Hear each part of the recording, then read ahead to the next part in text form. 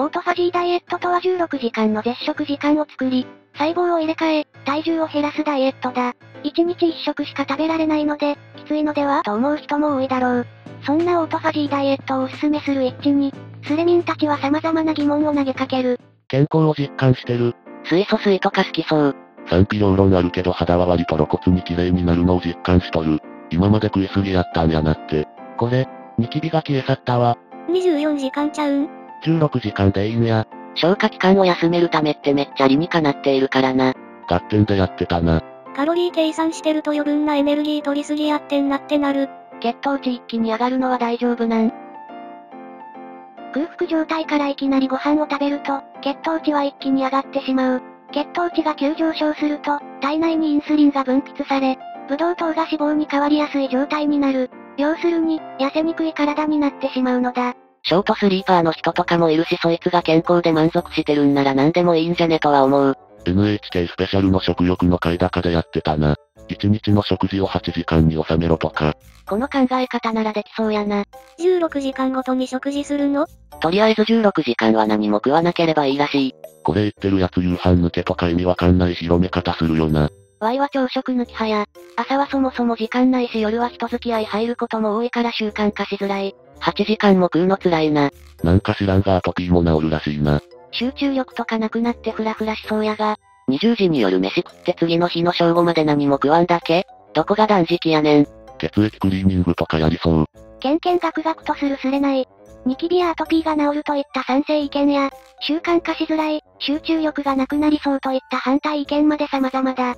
ちなみに血液クリーニング血液クレンジングとは、身体から血液を抜き、その血液に酸素を注入してから体内に戻すという健康法である。針を刺されるのがちょっと怖いが、気になる人は調べてみてほしい。10年ぐらい引きニートで1日1食だったけどガリガリで体力も気力もつかなかったけど、朝抜いて12時と8時に飯なら十分現実的だな。ワイずっとこれやな。特に健康でもないけど。そう考えるとワイセルフオートファジーやってたんか。早めに晩ご飯の習慣になると自然とこうなってることがある。ブドウ糖が足りなくなって思考力低下するで。運動して1日3食食べるのが一番健康に決まってるやろ。脂っこいものや甘いもの食べて寿命が縮まる感じと対極だよな。空腹時間が長くて永遠になったわ。Y は基本1日1食や、腹減ったらコーヒーと水を飲んでる。あまりにも空腹時間が長いと、行き場のなくなった胃酸によって胃が刺激されて、胃が痛くなったり、さらに症状が悪化すると胃炎になったりしてしまう。また、胃が痛い時にタバコやアルコール、カフェインなどを摂取するのは、胃に悪いので注意しよう。8時間の間はどか食いしてもええんか？お相撲さんと一緒で血糖値上げて急激に太らせるための効率の良いやり方やな。相撲でやって割と科学的に考えてるんやな。腹が減ったらナッツは食ってよしというガバ理論。わい今日は6食やで。体もたん。お相撲さんかな？細いのに体脂肪率高そうな体になりそう。速攻筋肉分解されるやろ。筋トレはしないとあかんらしいな。それやる場合はタバコはどうすればいいの？健康のためにやるんやからタバコ吸ってる時点であかん。喫煙はあなたにとって肺がんの原因の一つになります。喫煙はあなたにとって脳卒中の危険性を高めます。ご利用は計画的に。3食をバランスよくカロリー減らすだけでよくね？簡単に言ってくれるなよ。というかジジイの趣味やろ？ワイらヤングはいくら食べても脳ダメなんやが。ヤング20歳以上。案外食い物入れないと集中力続くよな。食い物入れて仕事するとだるい。学生時代に夜食食べたら勉強とかもうおしまいやったわ。空腹のままのが集中できる。ワイみたいなドカっては3食やないとぶっ倒れるわ。食事は1日3回まで許される最大の娯楽なのに。それを減らすとかありえんわ。ほんまなむしろ増やせて言いたいわ。その楽しみを1回で解放するんや。カロリー気にしてパン切れやサラダ食べて楽しいか？二郎食いたいやろ。どんなダイエットでもええけど筋肉を減らしたり基礎代謝下げるようなことをしなきゃやリバウンドせんから。基礎代謝とは、呼吸をしたり体温を維持したりなど、人が生きていくために最低限必要なエネルギーのことである。そして、筋肉量を増やすほど基礎代謝が高まり、食べても太りにくい体になるのだ。太りにくい体が欲しい人はぜひ筋トレをして、ムキムキマッスルを目指してみよう。最適な食事回数は人によるで。秋冬なんてお腹空いてお腹空いて。宿便って迷信なんやっけ？絶食すると腸に残されたうんこ出るとか言われてたけど。内視鏡医の本には迷信と書いてあった。やっぱりそうなんか。腸内掃除に絶食するのおすすめですよとか書いてあるサイト未だにあるからな。宿便とは、排出されないで長い間溜まっているうんこのことである。宿便を出せば綺麗になる、痩せられるといった意見もあるが、賛否両論ある。まあ、うんこを出すので、すっきりすることは間違いないだろうが。体脂肪率激低いビルダーなんて1日7食とかやからな。むしろ食事回数は増やして1回の食事量を減らす方がいい。言うてボディビルダーって早死にするし健康やないやん。体脂肪率が低い健康やないで。早死にするのは薬バカみたいに使ってた奴らやで。ビルダーは減量のプロやからな。シュワちゃんみたいに長生きしてる奴もいるしビルダーは早死にはイメージやね。でも毎食食べるもんに気をつけるくらいなら、頻度減らして好きなもの食べる方が楽そう。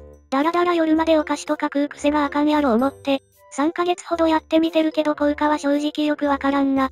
空腹の方が胃酸でダメージ受けるで。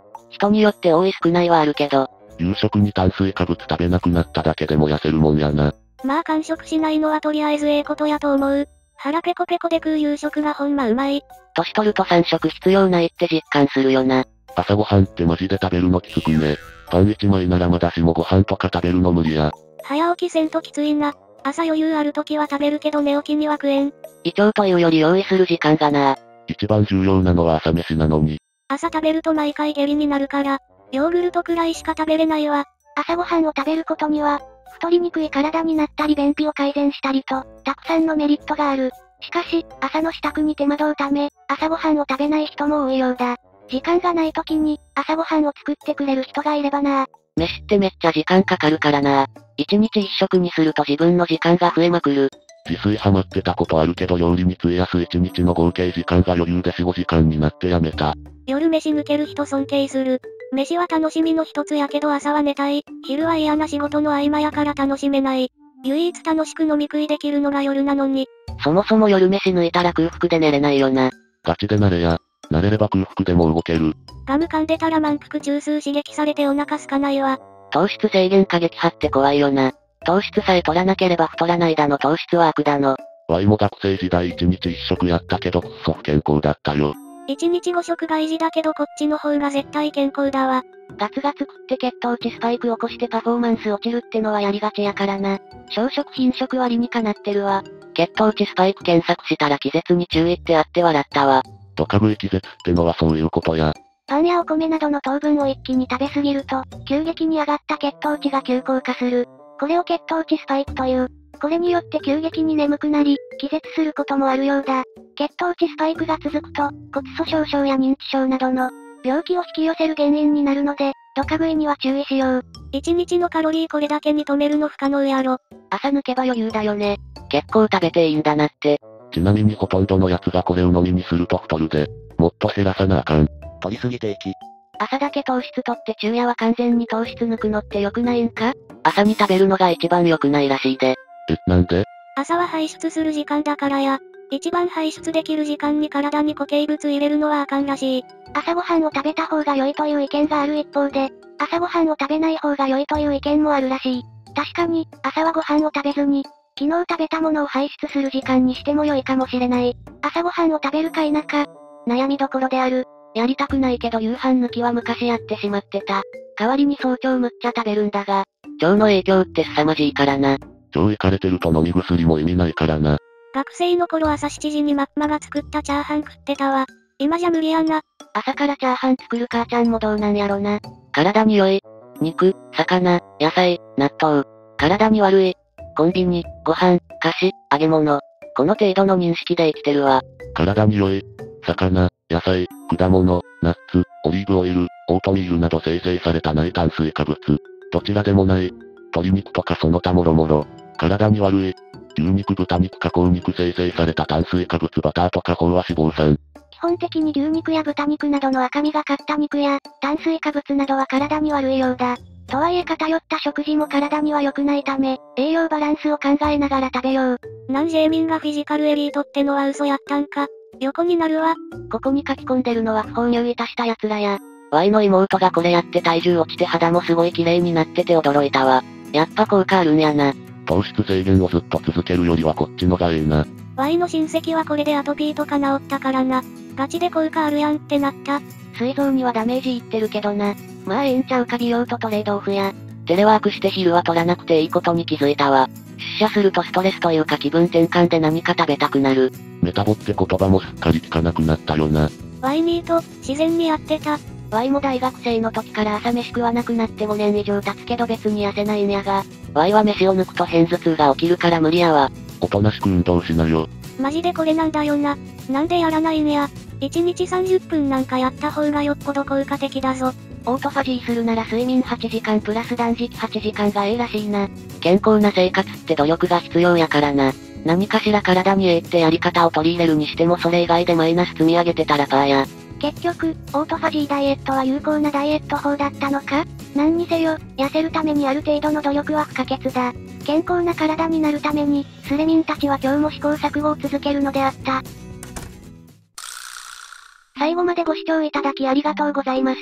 私もダイエット中なので、今回の動画はかなり勉強になりました。視聴者の皆さんの中でダイエットを頑張っているという人は、一緒に頑張りましょう。この動画の感想やおすすめのダイエット法があれば、コメントで教えてください。よろしければチャンネル登録と高評価ボタンもお願いします。